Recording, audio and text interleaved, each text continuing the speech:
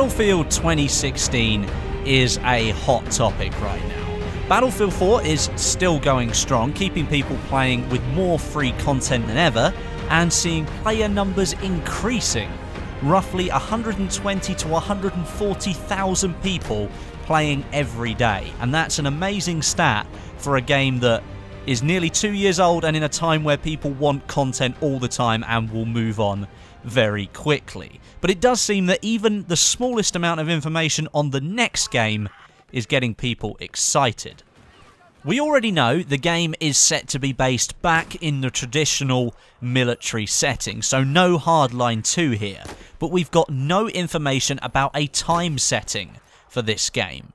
Could it be modern day like Battlefield 4? Could it be historical like the older titles of 1942? Or could it be futuristic, maybe seeing a sequel to Battlefield 2142?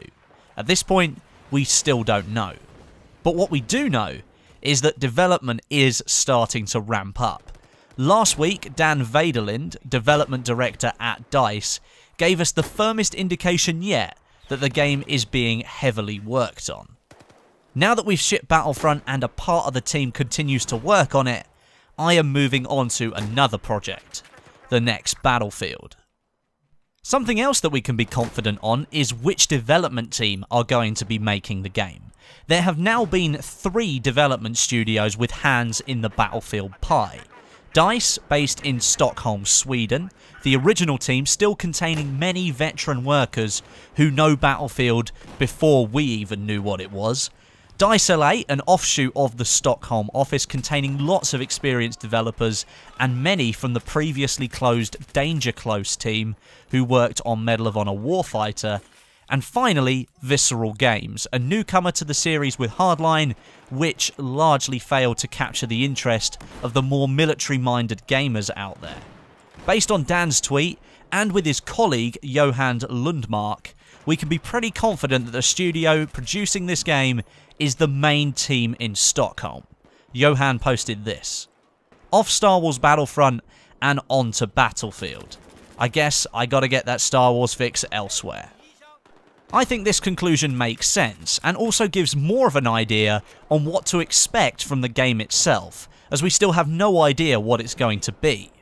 DICE Stockholm is where Battlefield began, and as much as their last few entries to the series haven't been what veterans of the series necessarily wanted, they have still managed to gather huge numbers of players. These games have been extremely successful, with Bad Company 2 now holding a cult following, Battlefield 3 remaining overall the most popular title ever in the franchise, as well as being top for player satisfaction, and Battlefield 4 showcasing how product support like free DLC way after the release can hold on to players for years after the end of the game's standard DLC cycle. Based on those facts, I think we're going to see another game that epitomises what Battlefield is all about. Big, open military warfare encompassing all aspects of battle. But I'm not sure where to put my money on when it comes to the setting. I'd love to see another modern day Battlefield title building on the vast improvements to the Frostbite engine that DICE LA did with Battlefield 4, but then I'd also love to see a return to the World War II style warfare, or perhaps not as far back, and maybe a fictional Cold War era conflict. One thing is certain though, I'll not be best pleased if the game is futuristic. Too many shooters have gone that way in the recent past and Battlefield going there is not going to be good for gamer variety. I wouldn't rule it out though, who knows where we'll be going. So there, Battlefield 2016 really is into full production now, and it's likely not long till we learn more about what's coming next. Battlefield 4 was revealed in March time and Hardline ended up getting leaked in May, June. So I'd expect an announcement between those months of the year and considering the game is likely to fall into the September-October release window, that fits just about perfectly. Let me know what you think of Battlefield 2016, what do you want it to be? Let me know down in the comments, and while you're there, drop me a like as well. But until next time, my name is Westie and I'll catch you guys in the next video.